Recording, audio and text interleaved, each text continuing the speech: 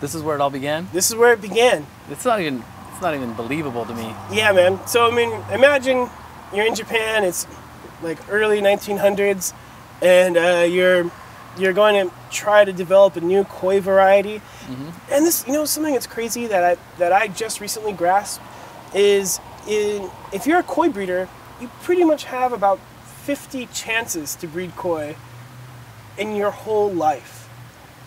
And that's not very many chances to breed Wait, wait, koi. explain that deeper. What do you mean? Okay, so uh, if you have a koi farm, maybe your second generation, right? Um, you'll start breeding koi, like making your own decisions when you're what, maybe 30, right? I was gonna say 25, 30. Right, yeah, so okay. 25. Maybe today, but back then not 25, right? No, right, Okay. right, right, right. So even today, so if you're 25 and then you get to make your first decision, I'm going to put these two koi together and breed them, right? So they only spawn one time of year, right? So that's spring. Oh, right. And then next Got it. spring you get to see how those fish turn out, Right. right? As two-year-olds. How do they turn out as three-year-olds? At four years old, right? So Right. now we, we've used four years just to see if the fish comes out decent, right? or has by then- possibilities. right? yeah. Now you're already 29, right? So um, assuming you, you live a really long, healthy life from 25, we're talking what? That's 75? Right. I don't know too many 75 year old breeders who are putting fish together. So there's probably less than 50 chances to make koi. That blew my mind away Yeah. when I started thinking about. That's that's mad respect. And and this this goes to you know in our sixty thousand dollar koi video. Sure. You know I'm in there the comments all the time. I do my my best to answer comments that people ask on our YouTube channel. Yeah. And a lot of people are like sixty thousand. That's ridiculous. But you know when you think about that, when you put that perspective on there, and, and to see that these two fish made kujaku, and some young breeder decided to take that and develop it, Sure. super cool. Mad yeah. respect. You're taking a huge risk putting these fish that are completely different from each other, and you have no idea what's going to happen, and then bam. because you only have so many ponds to, to raise fish in. So that's Correct. that's the real thing that people, people probably don't understand. I have a certain amount of ponds. And I'm gonna dedicate a portion of my real estate Sure. to try and develop something new. Exactly. And that's why that these fish are worth the money that they are. Absolutely. And then once they get the colors changing, then they got to go on the growth, right? They got to get the big ones. Yeah, they got to make the body the body correct. They got to make the, they got to bring the color out. They got to I mean everything, the skin quality. Do you see it now, Eric? No, So I'm lost. you have this Shusui and this Kinmatsuba. And this breeder thought to himself, you know what? I'm going to put these together and see what happens.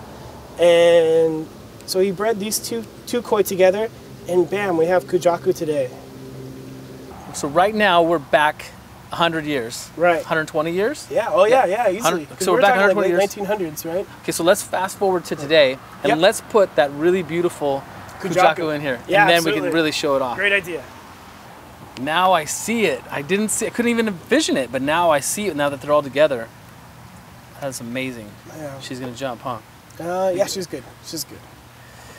Okay, now I really am. I'm starting to understand. You can see where the, the Matsuba comes into the Matsuba on both these koi. And the color, this- the yeah. color, the pattern. It's awesome, right? So awesome. And earlier in, in, in our series here on, on Kujaku, that one that had all the zigzag pattern, Right? the, the orange was more closer to that. Exactly. Yeah, so- So, we're talking about the refinement over, you know, 100 Yes. years. Let's just be so thankful that someone did that. I, I really thought Kujaku was in, was uh, not as old as you're telling me. Sure. I think that's really amazing.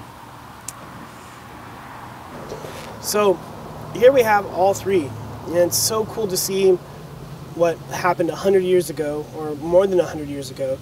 Uh, you have this Matsuba, this Shusui, breeding together to make this awesome Kujaku. Talk about like the risk that was involved with the breeder because he's using one of his uh, one of his precious precious years uh, to breed And his resources. and his resources, his space, and bam, comes out with something so cool like this that we get to enjoy, you know, a hundred years later, in in America, nonetheless, right? right. I mean, could you imagine uh, where if he, if the breeder, the inventor of the Kujaku, knew today that Kujaku were enjoyed all over the world? That's his legacy. Absolutely.